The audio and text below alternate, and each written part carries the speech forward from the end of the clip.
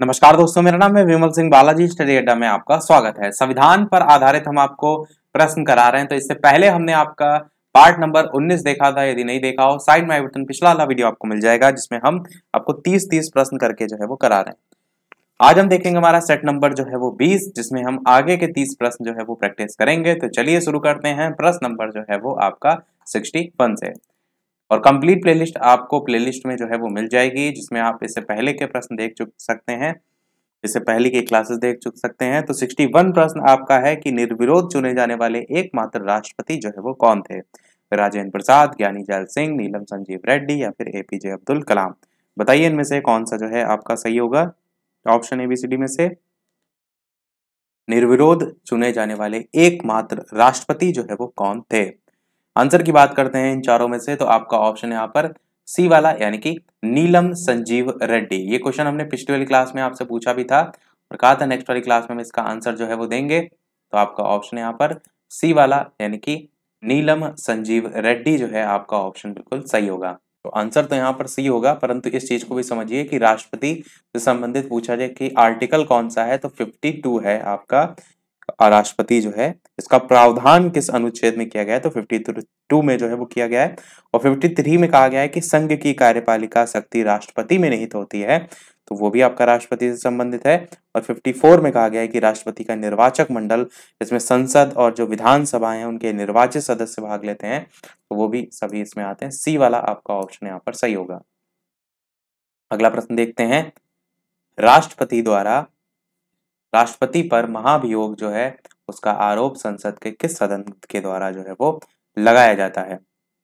राष्ट्रपति पर महाभियोग का आरोप संसद के किस सदन द्वारा लगाया जाता है? बताइए कौन सा सही होगा? राज्यसभा, लोकसभा, संसद के किसी भी सदन या फिर इनमें से कोई नहीं।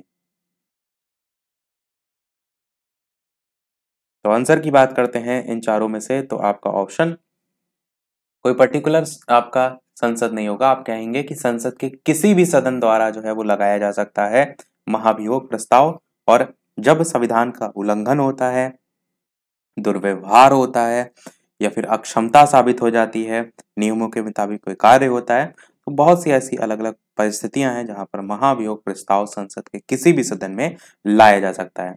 परंतु लोकसभा में इसे पेश करने के लिए कम से कम सौ सांसद जो है उनके दस्तखत चाहिए होते हैं। और राज्यसभा में से पेश करने के लिए कम से कम 50 सांसदों के दस्तखत ज़रूरी होते हैं। अगला देखते हैं, कोई व्यक्ति राष्ट्रपति पद के लिए अधिकतम कितनी बार निर्वाचित हो सकता है? एक, दो, तीन या फिर कोई सीमा नहीं है। बताइए इनमें से कौन सा जो है वो सही होगा। चलिए आंसर की बात कर लेते हैं तो आपका ऑप्शन, इसकी किसी भी प्रकार से कोई सीमा जो है आपकी नहीं है। जैसे अगर बात करें पंडित जवाहरलाल नेहरू जी की, नहीं, राष्ट्रपति की बात हो रही है तो हम बात करते हैं डॉक्टर राजेंद्र प्रसाद जी की तो वो इस पद पर दो कार्यकाल उन्होंने पूरा किए थे और पहले वो राष्ट्रपति भी थे डॉक्टर राजेंद्र प्रसाद। ऐसे पूछ लिया था कि महिला राष्ट्रपति पहली कौन थी? तो प्रतिभा देवी सिंह पाटिल जी थी, जो कि बारहवीं नंबर की जो है वो रही थी। तो ये सारी चीज़ें आपको पता होना चाहिए। अगला देखते हैं। ये क्वेश्चन बहुत पूछा जाता है, राष्ट्रपति को पद और गोपनीयता की शपथ कौन दिलाता है? बताइए कौन सा जो है वो सही होगा। उपराष्ट्रपति दिलाता है या फिर उच्चतम न्यायालय के मुख्य न्यायाधीश या फिर प्रधानमंत्री या फिर लोकसभा अध्यक्ष? अब राष्ट्रपति है, पद ही इतना ऊँचा है तो उसको कोई छोटा मोटा व्यक्ति तो दिलाएगा नहीं। तो यहाँ पर उपराष्ट्रपति को लेकर कई बार लोग कंफ्यूज हो जाते हैं और कई बार उच्चतम न्यायालय के मुख्य न्यायाधीश को लेकर के। क्योंकि लोकसभा अध्यक्ष और प्रधानमंत्री ये सब तो नहीं होंगे, ये तो आप ए और बी में ही ज़्यादातर कंफ्यूज होते हैं। तो चलिए आंसर की बात करते हैं। तो भारत का मुख्य न्यायाधीश, जिसको हम उच्चतम न्यायालय, सुप्रीम कोर्ट जो है, उसके मुख्य न्यायाधीश जो है, वो कहेंगे। ये जो है, वो शपथ दिलाता है। और किसी कारण से अगर अनुपस्थित है मुख्य न्यायाधीश तो सर्वोच्च न्यायालय का जो वरिष्ठ न्यायाधीश होते हैं, वो इस भूमिका को जो है वो संभालते हैं, पर वैसे तो आपका मुख्य न्यायाधीश ही होता है। अब देखेंगे एक सरकमस्टेंस अलग अलग आपको दे रखी होती है कि अगर ये नहीं मौजूद है तो उसकी जगह ये भी कर सकता है। अगला देखते हैं। अगला प्रश्न है उप राष्ट्रपति के निर्वाचक मंडल में शामिल होते हैं। सिर्फ़ राज्यसभा के सदस्य, सिर्फ़ लोकसभा के सदस्य, राज्यसभा और लोकसभा के निर्वाचित सदस्य या फिर राज्यसभा और लोकसभा के सदस्य? कौन सा इनमें से सही होगा? उपराष्ट्रपति के निर्वाचक मंडल में शामिल होते हैं। आंसर की बात करते हैं इन चारों में से तो आपका ऑप्शन राज्यसभा और लोकसभा के सदस्य जो है, आपका ऑप्शन बिल्कुल सही होगा। और क्वेश्चन ये भी पूछा जाता है कि उपराष्ट्रपति जो है, इसके लिए क्या क्या शर्तें होती हैं? तो भारत का नागरिक हो, आयु पूछ ली जाती है तो 35 वर्ष की जो आयु है, वो पूरी कर चुका हो। राज्यसभा जो है, उसका सदस्य निर्वाचित होने के लिए उसमें अहर्ता हो। तो ये कुछ पॉइंट होते हैं। अच्छा उपराष्ट्रपति के संदर्भ में कि इसका जो निर्वाचन है, वो किस माध्यम से होता है तो आप कहेंगे संसद के दोनों सदन, यहाँ पर लिखा है ना, राज्यसभा और लोकसभा के सदस्य, डी ऑप्शन। तो दोनों सदनों के सदस्य जो है, वो मिलकर, उनसे मिलकर एक निर्वाचक गण बनता है, उसके द्वारा अनुपातिक प्रतिनिधित्व पद्धति के अनुसार एकल संक्रमणीय मत के द्वारा जो है, इसका निर्वाचन जो है, वो होता है। तो आंसर यहाँ पर डी सही होगा। अगला देखते हैं।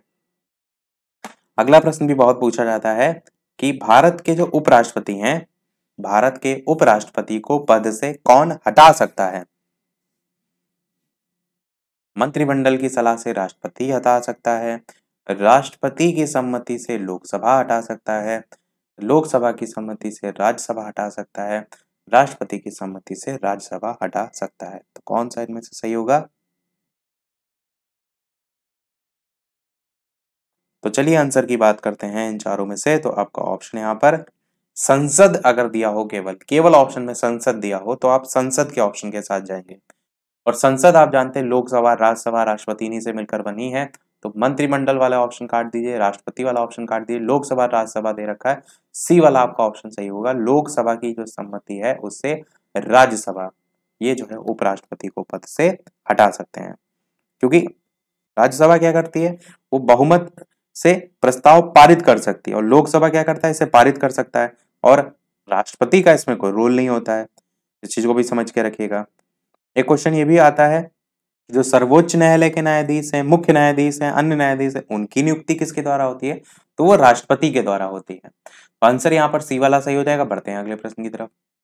अगला प्रश्न देखते हैं। राज्यसभा की बैठकों का सभापतित्व कौन करता है? राष्ट्रपति उपराष्ट्रपति, प्रधानमंत्री, राज्यसभा का उपसभापति। कौन सा इनमें से सही होगा? राज्यसभा की बैठकों का सभापतित्व कौन जो है वो करता है?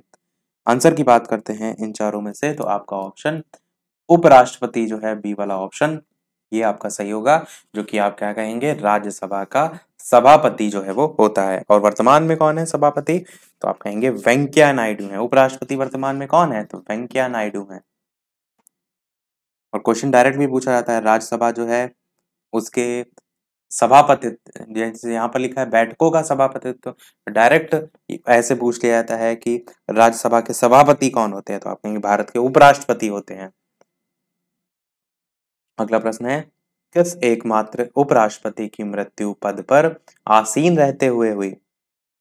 जैसे होता है ना रिटायरमेंट होता है एक, जैसे आपका टाइम पीरियड रहा कि आप इस समय राष्ट्रपति के पद पर हैं तो राष्ट्रपति के पद पर रहते हुए इनमें से किन की मृत्यु हुई, वो यहाँ पर पूछा गया, राष्ट्रपति नहीं, उपराष्ट्रपति पूछा गया है।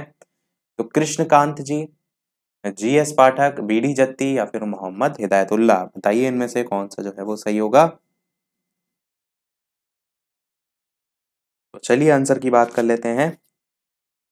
तो आपका कृष्णकांत जी जो है वो सही होगा, उपराष्ट्रपति की मृत्यु जो है, पद पर आसीन रहते हुए जो है वो हो गई थी। ऐसे याद रख सकते हैं कि कृष्ण जी ने उन्हें जो है ऊपर बुला लिया। पद पर रहते हुए ऐसे थोड़ा सा कृष्ण कांत नाम को याद रख सकते हैं। अगला प्रश्न पूछा गया है, इनमें से कौन संसद का स्थायी और उच्च सदन होता है? बताइए, लोकसभा या फिर राज्यसभा या फिर दोनों या फिर इनमें से कोई नहीं? अब इनमें से कोई नहीं और दोनों तो नहीं होगा, दोनों तो नहीं होगा, क्यों? क्योंकि दोनों इसलिए नहीं होगा। आपका एक उच्च सदन होता है, एक निम्न सदन होता है। आंसर की बात करते हैं तो उच्च सदन जो होता है वो आपका राज्यसभा जो है वो होता है। और साथ ही साथ ये स्थायी सदन के रूप में भी जाना जाता है। प्रश्न में लिखा है ना स्थायी वर्ड। क्योंकि इसके जो सदस्य होते हैं ना, वो एक तिहाई सदस्य, हर प्रत्येक दो वर्ष बाद जो है आपके नियुक्त होते रहते हैं, वो चीज़ हमने आपको बताई थी। और अगर आपसे पूछा जाए लोकसभा के बारे में तो ये निम्न सदन होता है। अगला देखते हैं राष्ट्रपति द्वारा राज्यसभा में कितने सदस्यों को मनोनीत किया जाता है? दस, ग्यारह, बारह, चौदह, कौन सा इनमें से सही होगा? आंसर की बात करते हैं तो आपका बारह यहाँ पर जो है वो सही होगा। राज्यसभा जो है इसमें राष्ट्रपति के द्वारा बारह सदस्यों को मनोनीत जो है वो किया जाता है। और इन्हें हम नामित सदस्य के नाम से जो है वो जानते हैं। डायरेक्ट नामित सदस्य करके भी कई बार जो है वो पूछ लिया जाता है। एक प्रश्न ऐसे भी आता है कि राज्यसभा जो है इनके सदस्यों की अधिकतम संख्या कितनी निर्धारित है? 250 जो है वो निर्धारित है और इनमें 12 सदस्य आ जाते हैं। और ये कौन सा अनुच्छेद बताता है? तो अनुच्छेद जो है 80 जो है वो राज्यसभा से संबंधित है। आपको याद होगा, एक ट्रिक हमने आपको बताई थी तीनों याद करने के लिए। सरला आपकी ट्रिक जो है वो थी। तो सरला से सात से संसद हो जाएगा। संसद का आर्टिकल 79 है। सरला में जो रा है, उससे आपका राज्यसभा हो जाएगा, उसका आर्टिकल अस्सी है, और ला जो है, उससे लोकसभा हो जाएगा, उसका आर्टिकल एट्टी वन है। तो क्रम से है seventy nine eighty eighty one संसद, राज्यसभा, लोकसभा। तो ये जो है, इसकी ट्रिक होती है इससे आप आर्टिकल भी याद रख सकते हैं। अगला देखते हैं। राज्यसभा में किस राज्य के जो प्रतिनिधि हैं, उनकी संख्या सबसे ज़्यादा है? बिहार, तमिलनाडु, मध्य प्रदेश, उत्तर प्रदेश, कौन सा सही होगा? आंसर की बात करते हैं तो सबसे ज़्यादा जो प्रतिनिधि हैं, वो आपके उत्तर प्रदेश में है, क्योंकि जितनी ज़्यादा जनसंख्या होगी, उसी के अकॉर्डिंग उतनी ज़्यादा सीटें होंगी। यूपी आपका इसमें आता है और राज्यसभा के बारे में हमने ऊपर ही बता दिया आपको। अगला प्रश्न देखते हैं। लोकसभा के लिए प्रथम आम चुनाव कब हुआ था? उन्नीस सौ अड़तालीस, उन्नीस सौ बावन, उन्नीस सौ तिरपन, उन्नीस सौ चौवन, कौन सा इनमें से सही होगा? लोकसभा के लिए आम चुनाव इसको भारतीय आम चुनाव भी कहते हैं। ये जो है वो कब हुआ था? आंसर की बात करते हैं इन चारों में। तो आपका 1952 में जो है वो पहला आम चुनाव हुआ था। आपका बी वाला आपका ऑप्शन यहाँ पर जो है वो सही होगा। और स्वतंत्र भारत में चुनाव होने से पहले जवाहरलाल नेहरू जो है वो आपके प्रधानमंत्री भी जो है वो थे। एक क्वेश्चन ऐसे भी बनता है कि आपका भारत में पहली बार जो है वो किस वर्ष में लोकसभा का गठन हुआ। ऐसे करके भी आता है। तो 1952 ऑप्शन के साथ ही आप जो है वो जाएँगे। तो आंसर आपका 52 हो जाएगा। अगले प्रश्न पर पढ़ते हैं। अगला प्रश्न आपका है लोकसभा का चुनाव लड़ने के इच्छुक व्यक्ति की न्यूनतम आयु कितनी होनी चाहिए? बताइए इनमें से कौन सा सही होगा? 21, 24, 25 या 28 लोकसभा का चुनाव लड़ने के इच्छुक व्यक्ति की न्यूनतम आयु कितनी होनी चाहिए? आंसर की बात करते हैं तो आपका ऑप्शन इनमें से 25 वर्ष जो है वो सही हो जाएगा। लोकसभा का सदस्य बनने के लिए न्यूनतम आयु 25 वर्ष होनी चाहिए और राज्यसभा का सदस्य बनने के लिए न्यूनतम आयु 30 वर्ष होनी चाहिए। कंफ्यूज आपको ना हो तो राज्यसभा तो याद भी ऐसे रख सकते हैं क्योंकि राज्यसभा मैंने बताया था उच्च सदन होता है तो उसका जो एज होता है वो भी आपका ज़्यादा होता है, तीस वर्ष होता है। तो लोकसभा और राज्यसभा में कंफ्यूजन हो तो ऐसे आप याद रख सकते हैं। लोकसभा निम्न सदन होता है तो उसमें कम होता है नहीं पच्चीस वर्ष होता है। क्योंकि कंफ्यूज आप होंगे तो पच्चीस और तीस में ही होंगे। बीस होता नहीं है, पैंतीस होता नहीं है। अगला देखते हैं। कौन सा राज्य सबसे अधिक प्रतिनिधि लोकसभा में भेजता है? यूपी बिहार, पश्चिम बंगाल, आंध्र प्रदेश, कौन सा जो है वो सही होगा? तो अभी हमने क्वेश्चन देखा था, आपको हमने बताया कि जनसंख्या जितनी ज़्यादा होगी, उसी के अकॉर्डिंग सीटें होंगी और उसी के अकॉर्डिंग प्रतिनिधि भी जो है वो लोकसभा में भेजे जाएँगे। तो यही चीज़ यहाँ पर प्रश्न पूछा गया है। तो समझ गए होंगे आप आंसर? तो आपका ऑप्शन ए यानी कि उत्तर प्रदेश जो है वो सही होगा, जो सबसे अधिक प्रतिनिधि जो है लोकसभा में भेजता है। अगला देखते हैं सेवेंटी फाइव लोकसभा और राज्यसभा, इनके दो अधिवेशन के बीच अधिकतम कितने समय का अंतर जो है वो होना चाहिए? बहुत ही अच्छा क्वेश्चन है, ये भी बार बार रिपीट होता है। वीडियो सभी लोग लाइक ज़रूर करते रहिएगा।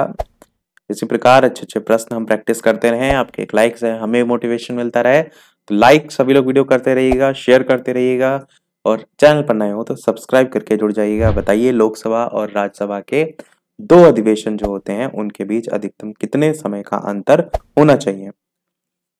तो चलिए आंसर की बात करते हैं इन चारों में से। तो आपका ऑप्शन यहाँ पर छह महीने का अंतर जो है वो सही हो जाएगा। अधिकतम कितने समय का अंतर होना चाहिए? तो छह महीने का अंतर होना चाहिए लोकसभा और राज्यसभा के दो अधिवेशन के बीच।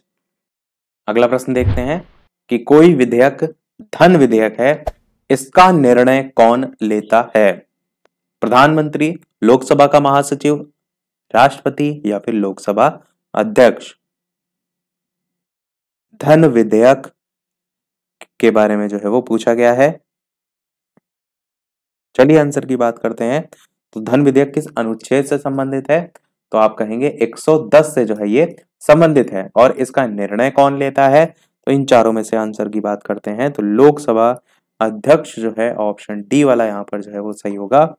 कोई धन विधेयक, कोई विधेयक आप कहेंगे धन विधेयक है या नहीं, इसका निर्णय लोकसभा अध्यक्ष जो है वो लेता है।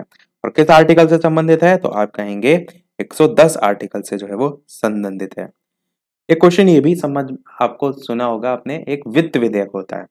तो अगर आपके दिमाग में ये आए कि धन विधेयक और वित्त विधेयक में क्या डिफरेंस होता है तो जो धन विधेयक होता है, वो आपका जो वित्तीय विधेयक है, उसके रूप में जाना जाता है।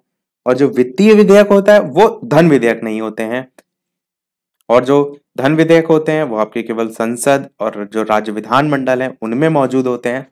तो ये कुछ बेसिक अंतर होते हैं, बाकी थ्योरी पूछी नहीं जाती, आपके समझने के लिए आपको पता होना चाहिए। अगला क्वेश्चन आपका बेहद ही महत्वपूर्ण है कि संसद के संयुक्त अधिवेशन को कौन जो है वो बुलाता है? मोस्ट इंपॉर्टेंट क्वेश्चन है, राष्ट्रपति, प्रधानमंत्री, लोकसभा अध्यक्ष या विपक्ष का नेता? कौन सा इनमें से सही होगा? संयुक्त अधिवेशन संसद का, यानी कि लोकसभा और राज्यसभा दोनों को मिलाकर बुलाने की क्षमता जो है वो किसमें होती है? अब कोई बड़े अधिकारी होगा, ज़ाहिर सी बात है, जो दोनों के अधिवेशन को बुला रहा है, संयुक्त रूप से बुला रहा है तो ऐसे आप जोड़ सकते हैं। आंसर की बात करते हैं तो राष्ट्रपति आपका जो है वो सही होगा। बुलाने का जब भी बात होगी, कौन बुलाता है तो राष्ट्रपति होगा। एक क्वेश्चन यही आता है, संयुक्त अधिवेशन की अध्यक्षता कौन जो है वो करता है? तो अध्यक्षता कौन करेगा? तो लोकसभा अध्यक्ष जो है वो करता है। ये दोनों प्रश्न में डिफरेंस होता है। संसद के संयुक्त अधिवेशन की अध्यक्षता कौन करता है? अगर इस प्रकार से क्वेश्चन आएगा तो आप ध्यान रखिएगा, लोकसभा के अध्यक्ष के द्वारा होती है। बुलाता कौन है संयुक्त बैठक को? तो राष्ट्रपति बुलाता है।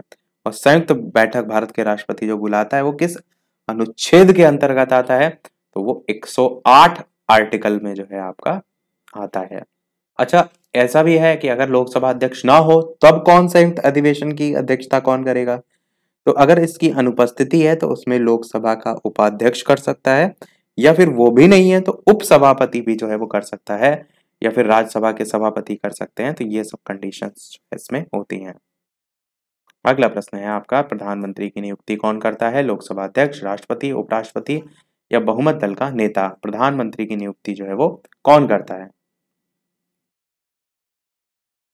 आंसर की बात कर लेते हैं तो आपका ऑप्शन यहाँ पर, राष्ट्रपति जो है वो प्रधानमंत्री की नियुक्ति जो है वो करता है। बी वाला आपका ऑप्शन यहाँ पर सही होगा। अगला देखते हैं। स्वतंत्र भारत के पहले प्रधानमंत्री जो है वो कौन थे? ऊपर प्रश्न आया भी था एक, उसके प्रश्न के एक्सप्लेनेशन में हमने बताया भी तो कौन सा सही होगा? वल्लभ भाई पटेल, राजेंद्र प्रसाद, जवाहरलाल नेहरू, महात्मा गांधी, कौन सा सही होगा आंसर की बात करते हैं तो पंडित जवाहरलाल नेहरू जो है आपका सही होगा स्वतंत्र भारत के पहले प्रधानमंत्री जो है ये थे। अगला प्रश्न देखते हैं, अस्सी नंबर, कि प्रधानमंत्री या कोई मंत्री जो संसद के किसी भी सदन का सदस्य नहीं है, उसे मंत्री पद पर बने रहने के लिए कितने दिनों के अंतर संसद का सदस्य बनना अनिवार्य जो है वो या आवश्यक जो है वो होता है। तीन महीने, छह महीने, नौ महीना, एक वर्ष कौन सा सही होगा? शर्त लिखी रहती है ना कि उसको इस सदन का अध्यक्ष होना चाहिए या सदस्य होना चाहिए तो वो अवधि कितनी होती है? आंसर की बात करते हैं चारों में से तो छह माह की वो अवधि होती है तो बी वाला आपका ऑप्शन सही होगा। अगला प्रश्न है, मंत्रिपरिषद सामूहिक रूप से किसके प्रति जो है वो उत्तरदायी होते हैं? प्रधानमंत्री के, राष्ट्रपति के, लोकसभा के, राज्यसभा के, बताइए इनमें से कौन सा सही होगा? मंत्रिपरिषद सामूहिक रूप से किसके प्रति उत्तरदायी होता है? तो आंसर की बात करते हैं, लोकसभा जो है, आपका ऑप्शन यहाँ पर सही हो जाएगा। किसके प्रति उत्तरदायी? लोकसभा के प्रति जो है, उत्तरदायी होता है। अगला देखते हैं, यदि किसी मंत्री के विरुद्ध अविश्वास मत पारित हो जाए तो सिर्फ़ संबंधित मंत्री त्याग पत्र देता है, प्रधानमंत्री को त्याग पत्र देना होता है, मंत्रिपरिषद इस्तीफा देता है, या इनमें से कुछ भी नहीं होता है। ये कुछ ऑप्शन थोड़ा सा अलग टाइप का है। कुछ भी नहीं होता है। बताइए सही कौन सा होगा? यदि मंत्री के विरुद्ध अविश्वास मत पारित हो जाए तो इनमें से क्या जो है वो होगा?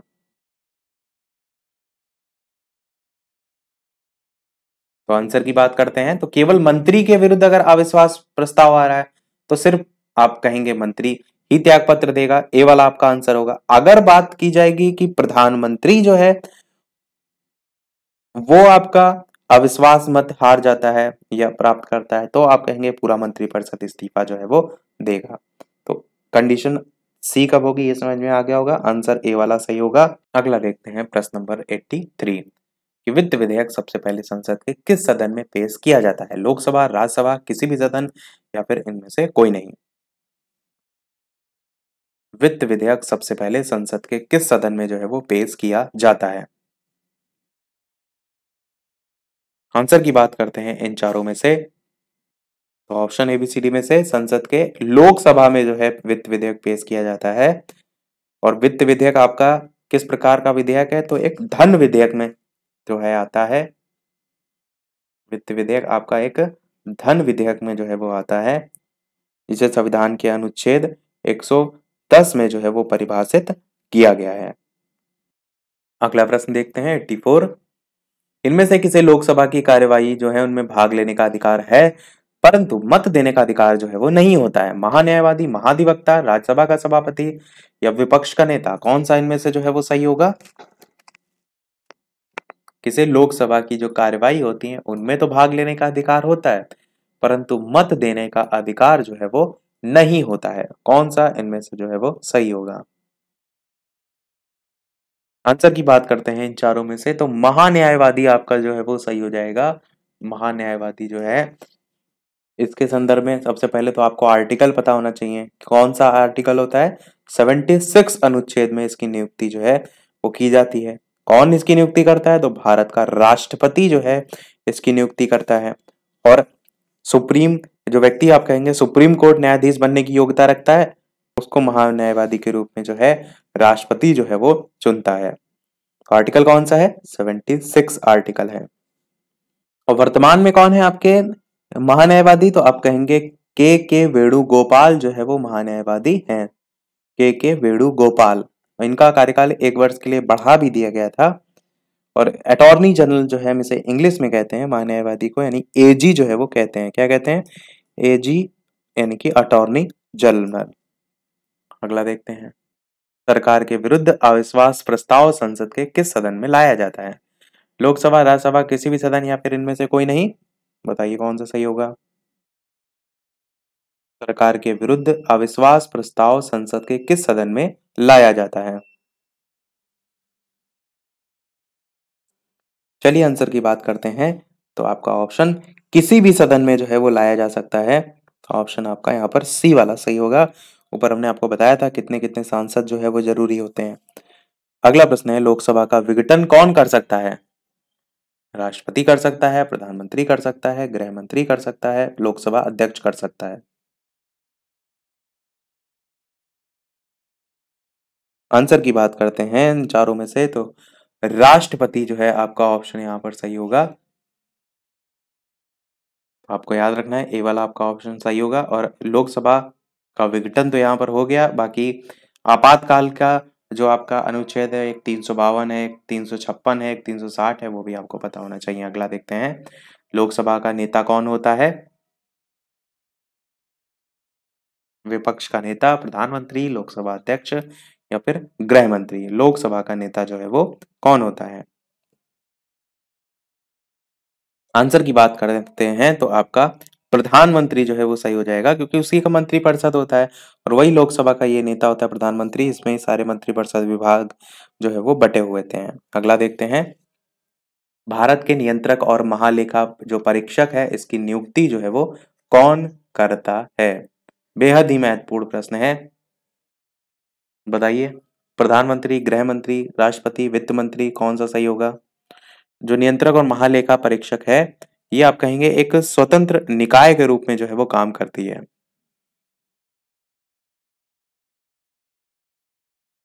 तो चलिए आंसर की बात कर लेते हैं तो आपका ऑप्शन यहाँ पर, राष्ट्रपति जो है वो बिल्कुल सही हो जाएगा। इस पर सरकार का नियंत्रण नहीं होता है। नियुक्ति इसकी राष्ट्रपति के द्वारा जो है वो की जाती है, और जो नियंत्रक और महालेखा परीक्षक है, यही भारतीय लेखा परीक्षा और लेखा सेवा, उसका भी प्रमुख जो है वो होता है। तो आंसर यहाँ पर जो है वो राष्ट्रपति होगा। इंग्लिश में हम इसे क्या कहते हैं? इसको इंग्लिश में हम सी ए जी करके जो है वो कहते हैं। सी ए जी मतलब controller and controller and auditor general of India ये जो है इसकी इंग्लिश हिंदी में फुल फॉर्म होती है। अगला देखते हैं। राज्य की कार्यपालिका का प्रमुख कौन होता है? राज्यपाल, मुख्यमंत्री, विधानसभा अध्यक्ष, राष्ट्रपति। बताइए कौन सा सही होगा? राज्य की कार्यपालिका का प्रमुख कौन होता है? आंसर की बात करते हैं। अच्छा प्रश्न याद रखिएगा कि जब राज्य की बात होगी तो आप कहेंगे राज्य की कार्यपालिका का प्रमुख। राज्यपाल जो है वो होता है, जिसको हम गवर्नर कहते हैं। और ये मंत्रिपरिषद की जो सलाह है, उसके अकॉर्डिंग जो है वो कार्य करता है। कुछ मामले हैं इसमें राज्य को, राज्यपाल को अपने भी अधिकार दिए गए हैं, पर मंत्रिपरिषद की सलाह के बिना जो है, बहुत कम ही कार्य करता है। बाकी ए वाला ऑप्शन यहाँ पर सही होगा। अगला और इस वीडियो का लास्ट प्रश्न देखते हैं। इसके बाद एक प्रश्न हम आपसे भी पूछेंगे। इसके अलावा चैनल पर नए हो तो सब्सक्राइब करके अवश्य जुड़ जाइएगा और वीडियो लाइक सभी लोग अवश्य कर दीजिएगा। इसी प्रकार अच्छे अच्छे प्रश्न हम प्रैक्टिस करते रहें। शेयर भी करते रहिएगा। नब्बे प्रश्न है। भारत के राज्यपाल की नियुक्ति कौन करता है? प्रधानमंत्री, राष्ट्रपति गृह मंत्री या भारत के मुख्य न्यायाधीश? बताइए कौन सा इनमें से जो है वो सही होगा। चलिए आंसर की बात करते हैं। राज्यों में राज्यपाल की नियुक्ति कौन करता है? तो आप कहेंगे राष्ट्रपति आपका ऑप्शन बी वाला जो है वो सही होगा। राष्ट्रपति जो है, नियुक्ति जो है वो करता है। तो सभी प्रश्न हुए हमारे समाप्त। अब एक प्रश्न आपके लिए भी। जैसा कि सभी वीडियो में हम आपसे एक नए प्रश्न पूछते हैं। तो इस वीडियो का आपके लिए प्रश्न है, जिसका आंसर वीडियो के मेन कमेंट में आपको बताना है कि मुख्यमंत्री की नियुक्ति किसके द्वारा जो है वो की जाती है? ए ऑप्शन है राष्ट्रपति, बी ऑप्शन है प्रधानमंत्री, सी ऑप्शन है राज्यपाल और डी ऑप्शन है विधानसभा अध्यक्ष। तो इन चारों में से कौन सा सही होगा? अपना आंसर वीडियो के मेन कमेंट में टाइप करके बताइएगा।